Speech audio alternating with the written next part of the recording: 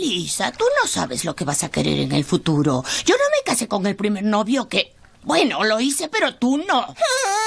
Los amores de Lisa han sido una parte fundamental en la serie. No necesariamente ha tenido amores intensos, pero los que ha tenido no dejan de ser menos importantes para el desarrollo de su personaje. A ella la hemos visto romper el corazón más de una vez. Los amores fugaces, así como llegaron, se fueron. La historia no se centró en ellos, ni Lisa les dedicó una verdadera atención, y es que la temporada 8, siendo aún de la época dorada de la familia, mantuvo un amor que no pudo ser fugaz y es la relación más estable. Realza tu lado tierno y sensible.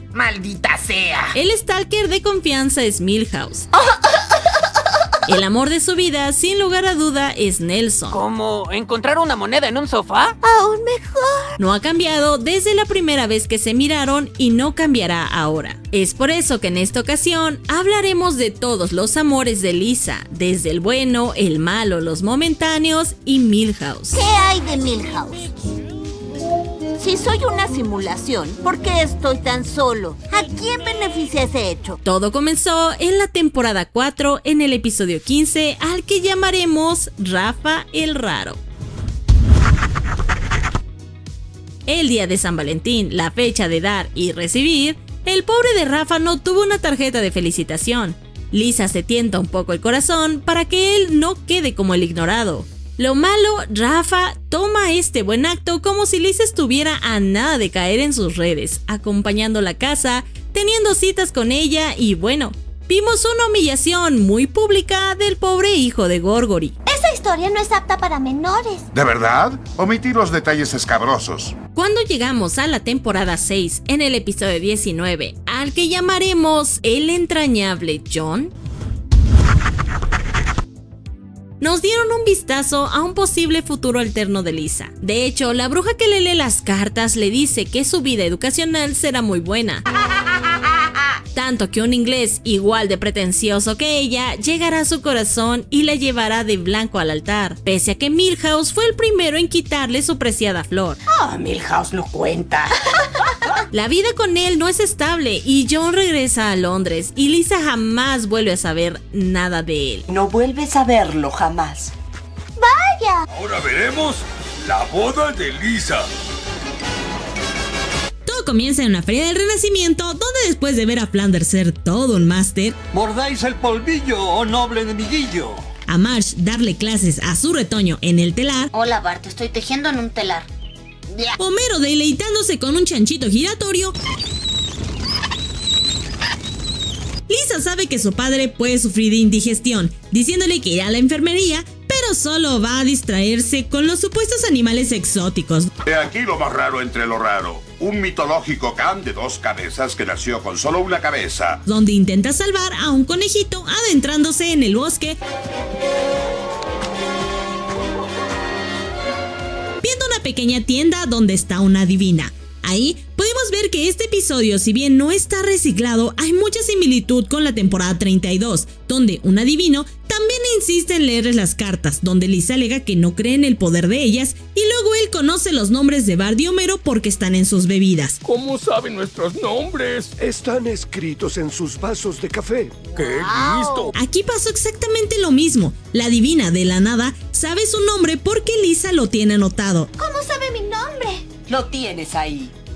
Hola, soy Lady Lisa. Y diciéndole que no creen adivinos, aunque la mujer le dice que las cartas son vagas y misteriosas. ¡Ah! sí puede ver el presente. Ahí le dice que en el 2010 el mundo será muy diferente, un estilo muy futurista, pero pues bueno, estamos en el 2023 y ni cerca de ello.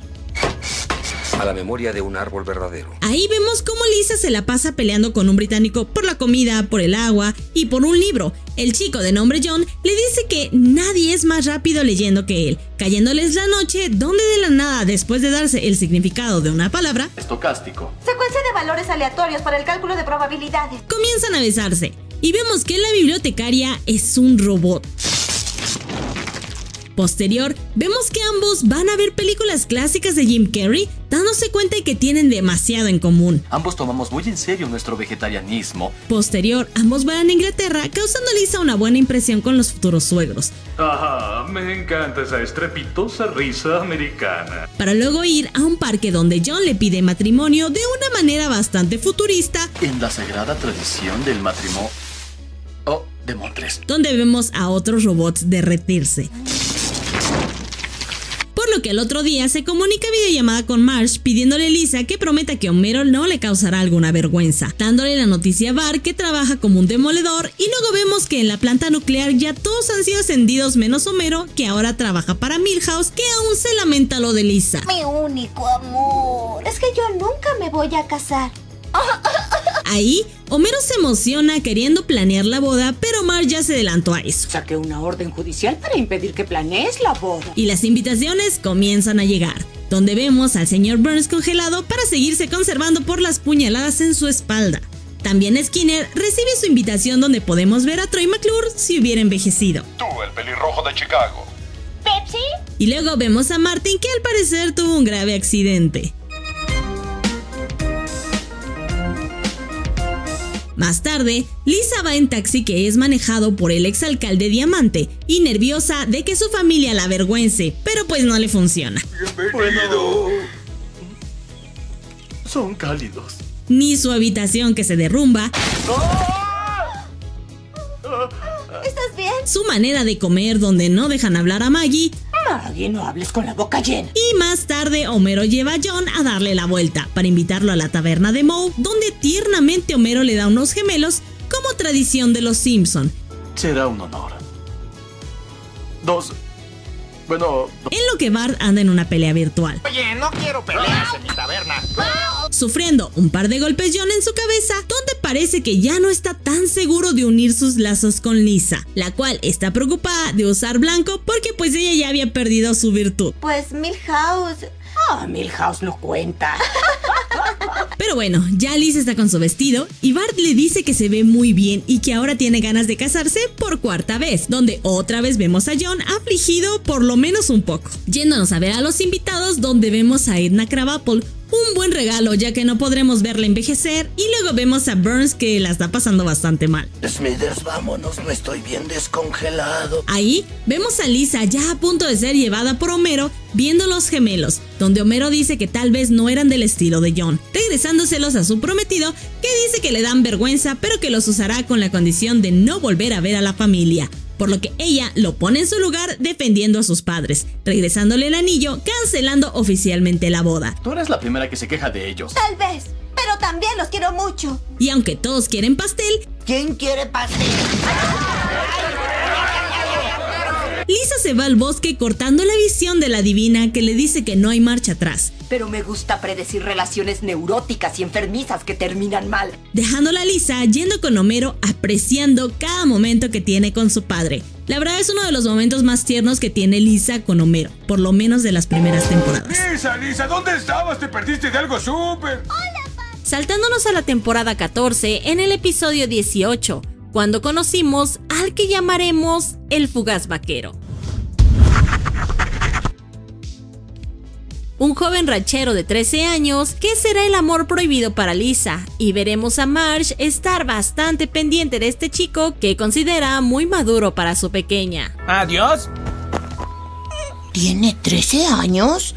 Lisa, tú solo tienes 8. Pero cuando él tenga 23, yo tendré 18. Llegando a la temporada de terror con una parodia bastante graciosa de Crepúsculo, conoceremos a Edmond el Eterno. Que ve en Lisa a una chica única y diferente, llevándola por el bosque para mostrarle su mundo y hacer la comparación del león enamorándose de la oveja. ¡Vuela! La casita del horror 21. ¡Monstruo! ¿Cómo olvidar el día que Daniel Radcliffe, el chico Harry Potter, hizo de Edward Cullen en Los Simpson? Now let's race up this tree. Esto fue parte de la casita del horror, la cual fue una gran parodia a la película del momento Crepúsculo. Incluso tomando el inicio de la misma.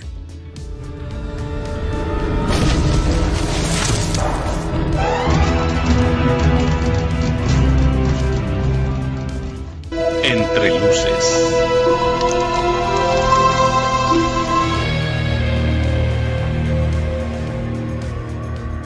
Aunque bueno, a su manera. Queso a la parrilla. Y como ningún vampiro puede estar expuesto a la luz porque en el caso de Edward brilla. It's like diamonds. Springfield se torna gris y nublado, donde el mismo Bart se pregunta por qué las niñas están emocionadas. Y por mucho que Bart se esfuerza, su físico no es como el de Edmund. Ahí vemos a una Lisa muy al estilo de Belle Swan, donde cree que no va a ser notada por el popular, pero Edmund la nota, porque es única y diferente. Ahí vemos la escena del auto donde Edmund la salva diciéndole que lo pudo lograr porque el camión ya es barato. Oh, son estos baratos autobuses escolares con su metal que rechina. Teniendo un instinto para salvarla pues de todos los peligros. ¿Qué? ¿Yo otra vez? Llevándola por el bosque para mostrarle su verdadero ser. Una escena muy parecida a la de la clásica Crepúsculo, donde Milhouse tiene su momento de brillar como hombre lobo, pero pues solo consigue ser un tierno cachorrito. En esta parte, es Lisa quien va a llevar a Edmund a casa donde Homero tiene prohibido hablar de cosas de vampiros. Pero Edmund tampoco la tiene fácil, ya que en sus 400 años su padre Drácula no lo deja en su primera cita. Vives en mi cripta, cumples mis reglas. Pero como quiere el festín se ve bueno, pues es el mismo Flanders el que ha sido horneado. ¡Quiero la pierna! Y ya más en confianza, Homero habla con el padre de Edmund sobre cómo es ser vampiro, aunque él le dice que a él le gusta más el jazz que chupar sangre avergonzando a su hijo. Y bueno, también se avergüenza Lisa. Muero de vergüenza cada día. Sé cómo te sientes.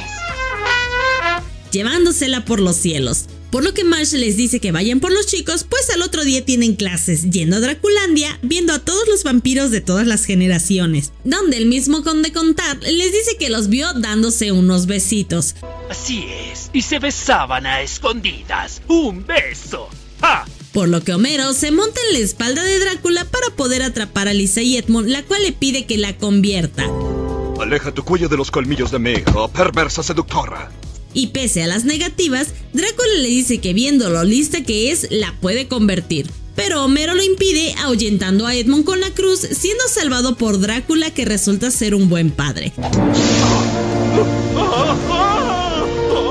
Yo iba a su cuna a mediodía para verificar que no estuviera respirando. Al igual que Homero que impide que Edmund muerda a Lisa, mostrándole su cuello para luego terminar siendo convertido en un vampiro también. Ah, ¿Papá? ya que han succionado no solo su sangre, sino también parte de toda la grasa. Tu sangre está llena de colesterol. Y no del bueno. Y por lo mismo, ni su cuerpo de murciélago lo soporta, que muere al caer, siendo llevado por Milhouse Perrito. En la temporada 23, en el episodio 13, conocimos al intelectual Nick llevándonos al día de San Valentín y Lisa encuentra en Nick un chico igual de culto que ella, llevándonos a un amor estilo cuento de hadas. Señora Simpson, quiero su permiso para llevar a su hija a la feria de nutrición de las frituras. Tanto es así que hasta se juran amor eterno. Pero como todo en esta vida, Nick no pasó más allá que de una promesa. Lisa, lamento que Dios me diera este talento para mentirle a las chicas por un tiempo. Adiós. Después de la temporada 25, en el episodio 17 vimos al gordo Lucas. ¿Un niño gordo con un sueño? No puedo competir con eso. Y nuevamente vimos a Marge involucrarse en el corazón de su hija, pues considera que Lucas era muy inferior para Lisa. Lástima que dejaste a la universidad para alimentarme. Incluso intenta fomentar a Homero a que le ayude a su hija a que consiga mejores opciones aún teniendo menos de 10 años. Si actúas como tú mismo, ella podría... ah, ah, ya sabes. um, Luego, en el especial de El Gran Gordsby, conocimos al Intenso. En una parodia muy al estilo de la novela El Gran Gatsby de F. Scott Fitzgerald, que no solo nos dio un poco del estilo de Buzz Luhrmann, nos trajo al gran e icónico Snoop Dogg. Un chico rico de los Hampton que se vuelve su enemies to lovers, pues de inicio detesta a Lisa hasta darse cuenta que ella no tiene interés en él, lo que hace que se vuelva bastante caprichoso para ganarse el amor de ella. Cuando me rechazaste, uh, sabía que tenía que hacer lo que fuera para ser digno de ti. Entonces llegamos a Brendan el Bueno. Un chico que tenía todas las buenas dotes de un partido digno de Lisa. Cantaba, tocaba el piano, era inteligente, la llevaba de citas, tenía tarjeta de crédito y por un instante puso a Nelson muy por debajo de él. En un terrible accidente automovilístico, Lenny y Carl mencionan todas las consecuencias de la planta nuclear. A causa de la planta, cosas raras me encontré. Obviamente, esto lo iban a contar cantando porque pues Disney. El papá tuvo que aplicar, el puente ya no aguanta más. Y bueno, todo en un día común en Springfield. Por favor, voy a llegar tarde a mi diálisis. En tanto, la lluvia les cae a los Simpson, donde Lisa se pone a cantar a una conferencia un poco ñoña. Pam, pam, param, param, pam, pam, pam, pam, donde hay varios empresarios, donde Burns tuvo que pagar a un científico que certifica que la planta es segura. Señor, eh, eh, no creo que esto engañe a nadie. Silencio y ponte el monóculo, profesor Noodle Strudel. Pero así como algunos siguen vivos, otros ya no quieren estarlo. Sería suicidio. Pero Liz está bien emocionalmente, de hecho un poco mareada de la felicidad que le da estar ahí. ¿Estás bien, hija? Está bien. También vemos a Bar hablar con un científico que se pone con sus químicos. ¿Eres un pervertido? No, ingeniero químico. Voy a poner un poco de agua en sodio en polvo. ¿Ah? ¡Wow! Más tarde, Liz escucha a un chico tocar el piano y cantar increíblemente bien. No ver, te enseñaré cómo se hace. Ahí, Brandon se presenta con Lisa, que vuelve a rechazar a Milhouse y también a Homero porque él está consciente de él. Oh, hola, pequeña niña. Bueno, más o menos. Señor, soy tu papá. Al otro día, Bart y Milhouse están muy felices haciendo experimentos en la casita del árbol. ¡Química de mono! Mientras, Lisa está con Brandon tocando en la cochera. Que tu instrumento pague mis pecados. Pero llegando a la escuela, Bart es un fan de la ciencia ocultándolo de los braucones, donde Nelson ve el repentino interés de Brandon en Lisa. Veo que tienes un nuevo amigo. Brendan, él es Nelson. Ahí ella dice que lo de Nelson es pasado, por lo que en el receso los chicos le hacen bromas bastante pesadas al pobre. Pero con su música conquista a las chicas y más a Lisa. Por ti. Convirtió su sufrimiento en entretenimiento. Teniendo citas nocturnas donde Lisa sigue tocando con Brandon y Marsh dice que sabe del nuevo pasatiempo de Bart, prometiendo a Mero que descubrirá lo que hace en la casa del árbol, donde no puede subir, pero Gorgory lo ayuda para que pueda hablar frente a frente con el chico. ¿Por qué hicimos eso, jefe? Cortesía entre gordas, Lou. Solo cortesía entre gordas. Pero Bart dice que el que hace la meta azul es Cleto. Vida Meta, orgulloso patrocinador de las Olimpiadas Opioides del 2020. Diciéndole a Marsh que de hecho es peor de lo que creía y que es algo parecido a un fanático religioso. En tanto, Lisa sigue en su cita donde Brandon le invita a un helado con su tarjeta de crédito. No retirar. Encontrándose con Nelson y los chicos que tocan música, donde Nelson dice que se siente vulnerable frente a Lisa y que ahora pues ya lo ve diferente. Siempre me agradaste, pero ahora te veo bajo una nueva luz. Hablándole a Willy que le dice que se emociona porque pues hay una guerra de jazz por ella. Escocia una vez tuvo dos reinas peleando por ella. Caminando por el jardín donde Brandon sigue componiéndole música y también Nelson está ahí. ¿Tomaste nuestra tabla de lavar? Tengo tangas que lavar. Mientras Marge y Homero siguen espiando a Bart que está con Milhouse. Ahora hacen ruido, mucho ruido. Los cuales van a ir a una función de talentos y todo apunta bien. ¿Querías rocas de dulce? Ahí las tienes. En casa, Marge le hace un vestido a Lisa que le dice que no sabe cómo va a salir su función de talento, pues ha estado muy distraída con los chicos. Y es que Nelson está muy motivado, donde Lisa le dice que tiene una relación de amor-odio. ¿Nelson?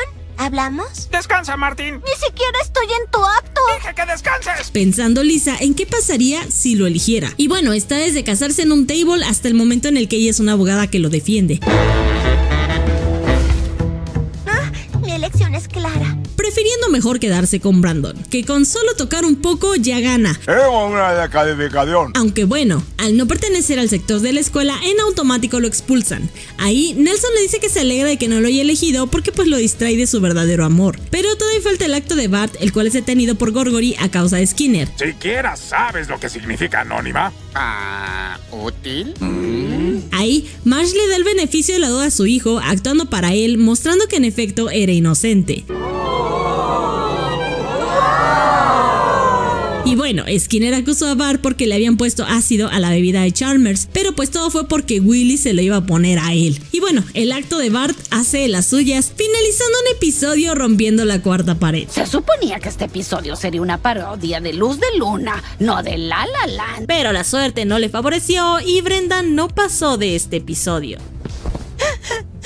Entonces en la temporada 32, en el episodio 7, llegamos a tener al que hizo que Lisa sufriera por sentirse confundida, y es el malo. Un chico que intenta hacerle creer a Lisa que está interesado en ella únicamente para mantenerla muy por debajo de él. Mientras Bart está en la tienda de Jeff, que está muy triste porque no va a poder pagar su viaje a la cómica Lusa, es interrumpido por Inés, que no está de tan buen humor y le exige que compre la basura de Skinner. Escucha, talla extra. Quiero deshacerme de los juguetes de Seymour antes de que cumpla 60. Encontrando entre todo a un hombre radiactivo que si lo vende en una muy buena subasta, podría pagar su viaje de ida, pero pues no el de su esposa. Papá enfermo, estaré con él. ¡Qué suerte! Al otro día, Seymour llega a preguntar si todavía tiene hombre radiactivo, pero pues obviamente este ya iba a ser vendido. El suspenso me mataba. En la escuela, Lisa ve un chico nuevo de nombre Blake.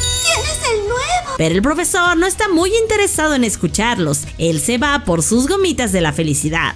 Gomitas de cannabis. En la tienda de los cómics está Phil, un actor de doblaje que será el suplente de Jeff. No soy raro, soy actor de doblaje. No pensé que hubiera personas que hicieran voces. Claro que la fama no lo es todo, ¿no es así, señor Potter? Ahí Bart le dice que también él es un actor de doblaje mostrándole sus dotes. Dobló a Doremi Harukase. Quedándose bastante tiempo con él donde tienen que hablarle por teléfono para saber dónde anda, pero pues cada quien vive su propio sueño. Como Jeff, que ya está en un avión rumbo a San Diego, donde le dicen que hubo una vez que alguien hizo una muy buena pregunta y lo contrataron para estar en la industria de Marvel. La gente como yo podría burlarse de mí. Y bueno, también ahí vemos a Groot. Yo soy Groot. Y luego, camino a la cómica Lusa, vemos a Paul Rudd que no tiene ninguna intención de hablar con Jeff. Oh, detesto mi aspecto de hombre ordinario. Por lo que es mejor ir a comer las galletas de la tía May, sentarse al lado de los Robins, un momento para poder escribir la mejor pregunta encontrándose a nada más y nada menos que al profesor X. No soy el profesor X, solo soy un hombre calvo en silla de ruedas buscando a su hijo. Por otro lado, vemos a Lisa con Blake, que también es vegetariano y el cual es acechado por Milhouse, aunque Lisa lo manda bastante lejos. ¡Aléjate! No puede ser, Lisa. Somos como mis padres. Pero después de una sesión de miradas, vemos que Blake no tiene los ojos azules y de hecho no es una buena persona. En tanto, en la cómica Lusa, después de una pelea nada intensa, Pero Verás, eso nunca ¿eh? No, no, no, no, no, Nunca has ahí vemos a Daniel Kim, Zoe Borwell y a David Z. Cohen, los cuales van a responder las preguntas. Hora de prepararse y a dos pasos del micrófono. Lo malo es que Jeff ha perdido la suya y aunque alguien le ofrece un trabajo, pues es DC Comics. Eh, podríamos ofrecerle un empleo en DC. Sí, yo paso. Ah. Luego con Lisa, el día que iban a elegir al mejor saxofonista, Blake le juega bastante chueco, decidiendo vengarse pronto de él. Tal vez no sea hoy ni mañana, porque mañana tenemos una excursión. Por otro lado, está Phil en su cabina de doblaje llevando a Bar para que también se pueda ganar una parte. Contratado. ¡Wow! ¿Quién diría que era tan fácil ser actor con trabajo? Diciéndoles Bar a todos que de hecho ha ganado más dinero que cualquiera con su doblaje, mientras Lisa sigue triste por lo de Blake. Pero todos están viendo Castillo de Galletas, el gran debut de Bar, donde pues resulta que está interpretando a una mujer. Y besa la mano amable de tu soberana. ¿Interpretas a una chica? Más lejos, en el aeropuerto, vemos a Jeff que aún sigue todo decepcionado, igual que Lisa que aún así va a ver a Bart para pues darle ánimos después de lo que pasó y para decirle que debe de estar orgulloso de su doblaje, además de que pues él sí se identifica con su género. ¿Te identificas como él o como ella? Él. ¡Golpéenlo a él! Mientras Jeff sigue llorando por lo que pasó en la Comicalusa. Pero lo importante es el episodio especial del Castillo de Galletas, donde todos están pendientes porque pues la princesa ahora es una reina y es toda una sanguinaria. Que una princesa fuera tan ruda. Conseguiré una figura de acción de la reina Bart. En adelante, no toquen a Bart. La única triste es Lisa que va a tocar el sax en el centro comercial recibiendo un pretzel que piensa guardar para siempre, dedicándose al jazz donde Marsh pues la verdad por más que intenta no lo aprecia. Quiero que me guste, pero no puedo. Pero en la temporada 8, en el episodio 7, nos dieron lo que podría ser el amor real. Lisa se da cuenta que el amor puede estar en cualquier lado, incluso en donde menos te lo puedes esperar. Y esta es la relación con Nelson, al que llamaremos Nelson el favorito. Y es que Nelson no ha tenido muchas reglas en su vida. Su madre trabaja 24/7 con su cuerpo y ha tenido una vida algo difícil, pero al momento de darse cuenta que realmente alguien está interesado en él, piensa que de inicio se trata de Milhouse. Adivina a quién le gustas.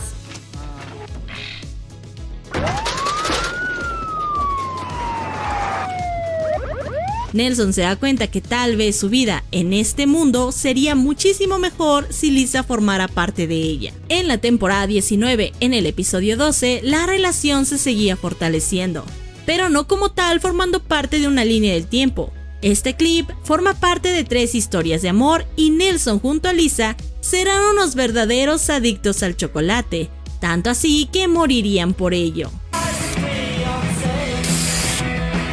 Una banda de rock donde Nancy está paseando por Londres con su novio aburrido, entrando a un pub donde encuentran a un rockero descubriendo lo mucho que le gusta, intentando llevarle un chocolate para conquistarlo. ¡Cayeron! ¡Buen trabajo, oficial Otto! Me alegra poder servirle, jefe. Pero los Sex Pistols ya andan bebiendo en un bar, encontrándose con Nancy con la que comparten un chocolate, volviéndose CD Nancy, unos chocaholic de inmediato.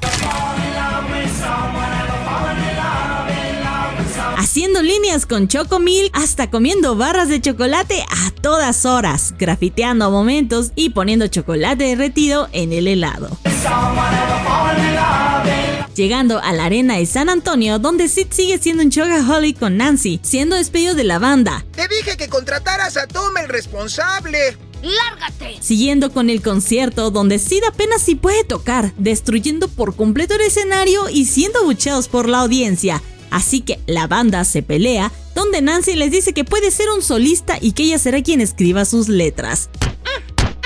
Lo hago porque quiero, no porque me lo hayas pedido. Pero Sid deja de ser punk para tener un dueto bastante aburrido con Nancy, siendo echados del bar. Su música viola todo lo que representa lo punk, que es nada. Para irse a dar sus besitos en el callejón y comer chocolates después. En la temporada 27, en el episodio 9, la relación se ve fortalecida, aunque de inicio el episodio se centra únicamente en la vida de Bart, un homenaje a la película llamada Boyhood. Pero al final, aparte de que se fortalece la relación de hermanos entre Lisa y Bart, vemos a Nelson mucho más estable, pues su compañera, sin lugar a duda, es la que lo ha centrado. Y es entonces que llegamos a una de las temporadas más recientes, cuando Nelson conoció a Lisa en un romántico episodio donde Nelson va creciendo profesionalmente y Lisa tiene otros amores. Claramente se ve que uno llama al otro de alguna manera, recordándonos que su amor comenzó en la temporada 8. Y claramente vemos que Lisa es más querida cuando Nelson está cerca de ella. Cuando Nelson encontró a Lisa, Comienza con una Lisa más adulta dando su discurso de graduación viendo a Nelson en el campo de fútbol, saludando a Lisa poniéndose al día de lo que ha sido de sus vidas desde el cuarto grado, pidiendo un poco de privacidad para ver las estrellas fugaces. Ahí, Nelson le dice que su vida de hecho no es nada genial, y por lo mismo, Lisa le dice que tiene un instinto para arreglarlo emocionalmente. por lo que Nelson, en su deseo de respetarla, le dice que la llevará a su casa, pero vive arriba de la iglesia en el campanario donde también es parte de su trabajo. Ahí, Lisa le dice que quiere saber por qué cuando terminó su cuarto año ya no volvieron a saber nada de él, pero solo le dice que era parte de la vida y que de hecho hasta de su casa se despidió con un golpe. Ahí, Lisa le dice que ella nunca lo vio como un mal chico, sino con problemas de ira, y que de hecho la hacía estremecer cuando lo escuchaba burlarse. Haciendo un momento romántico y quedándose a ver el amanecer. Ahí llega Bart, la única vez que vemos a Bart, preguntándole si todavía está en busca de algún novio o novia o un casual, y para no perder la costumbre, Nelson le pide un poco de dinero. Para luego desaparecer de una manera bastante futurista, aunque Lisa le dice que solo usó una capa de invisibilidad. En tanto, Lisa sigue con los recuerdos de la vez que ambos se habían gustado en su niñez y que al parecer todavía había un poco de sentimiento en ellos dos, siendo interrumpidos por Homero, que le dice que baje para llevarla a desayunar y luego ir a su graduación en el Veritas et Medicam, donde está feliz por haber revertido el calentamiento global, y por lo cual hace llorar a Marge ya que es la única que ha logrado terminar la universidad siendo vista por Nelson a lo lejos. En tanto, en el auto, Homero le da un pequeño consejo ahora que vivirá sola, pero ella solo se viaja fantaseando con Nelson en el campanario de Notre Dame, y como no ve futuro, mejor decide que solo se quede ahí en un si hubiera pasado. Por favor, conduce a paso melancólico. Cinco años más tarde, Lisa ya está saliendo con Hubert Wong, donde también vemos a Snake meterse en problemas como es usual, siendo atrapado por Nelson que le dice a Lisa que él no es policía, pues ahora no es bien visto ser parte de uno de ellos, y que es un recompensas y que trabaja con Rod a la que considera el amor de su vida. Aunque Lisa bien mezquina le dice que todavía recuerda esa noche con él frente a su actual y la novia de Nelson. Ahí, Hubert le dice a Nelson que aún recuerda cuando lo intimidaba y que ahora tiene todo lo que él hubiera deseado, como a Lisa, por ejemplo, a quien ya le pidió matrimonio llevándola a Marte para ver el mar de la tranquilidad, haciéndola ver en el desierto de Sahara donde hizo la propuesta. Por lo que Rod, para no quedarse atrás, le dice que ella y Nelson tienen un amor todavía más ardiente, algo que a Lisa no le sienta nada bien. Por lo que quedándose solos Hubert y Nelson, él le cuestiona sobre si su verdadero padre aún vive con su familia secreta en Shelbyville. A lo que Nelson le dice que de hecho no puede hablar de eso porque es un secreto. Nosotros éramos la familia secreta. Colgándolo en los aparadores decepcionando a Lisa que se da cuenta que en realidad no ha cambiado y que sigue siendo el mismo agresivo de siempre. Nuevamente, cinco años después, Lisa va a buscar un celular donde Nelson es el vendedor, emocionando a Lisa, disculpándose por lo que le hizo a Hubert y que espera que se encuentre bien. Por lo que vemos que de hecho él está promocionando el iPhone 67 con el que ya puedes fusionar tu mente y que ahora ya se preocupan por sus empleados. Por lo que Nelson le dice que de hecho a él no le va muy bien porque pues Rod lo ha dejado Así que Lisa no pierde la oportunidad de decirle que también está separada, siendo escuchada por los dispositivos que la llevan al siguiente nivel, aunque ellos aclaran que solo quieren tomar un café. Hablando de sus rompimientos, donde Nelson le dice que ya se cansó de verse cada 5 años y que le gustaría conocerla mejor, conectándose para recrear su infancia como si el tiempo no hubiera pasado, dando caminatas sin Milhouse porque pues nadie quiere a Milhouse, siendo interrumpidos por Hubert, que le pide que regresen, el cual ya tiene problemas con su propia programación, pidiéndole perdón y que sea la directora de su fundación benéfica, una oferta que pues Lisa no puede rechazar y el pobre de Nelson lo sabe. Dicen que si amas algo, déjalo ir. Dándole la espalda para regresar con Hubert. Ay, eres un idiota. Cuatro meses después hay una boda y extrañamente es de Jimbo y la hija de Krusty, una extraña combinación, o por lo menos eso narra Homero. Y para su suerte, Nelson será el padrino y Lisa la dama de honor, con unas típicas frases prematrimoniales de encontrar el amor que ahora ellos dos ya tienen. Y en la boda, Nelson y Lisa van camino al altar para ver a Jimbo y Sophie dar el sí, discutiendo que de hecho, si ella se había ido fue porque Nelson la dejó ir. Mientras afuera, Krusty le da la bienvenida a los invitados con el holograma de su padre. Y en la boda, con los votos y el modo romántico, Lisa se cuestiona si de verdad ama a Hubert, mientras Nelson se va de la iglesia porque no puede soportar ver que el amor no será parte de él, donde Lisa le dice que lo ha seguido porque ella sí está enamorada de él y que no le importa nada besándolo fuera de la iglesia donde ahora Milhouse es el campanero. Cuando vea que hago todo lo que ella dice, me va a respetar más. Y es así como llegamos a la parte de Milhouse. Se sabe que será el primero en su vida, que es con el que perderá la virginidad, el que siempre ha estado cerca de ella pese a saber que no es correspondido. Ay, pobrecito. Pero no es hasta la temporada 22 cuando Milhouse se enamora de Taffy y Lisa no está muy cómoda con ver que su seguro se ha ido con otra, confundiéndolo más aplicando lo que se conoce como love bombing. ¿Y no quieres que esté con alguien más?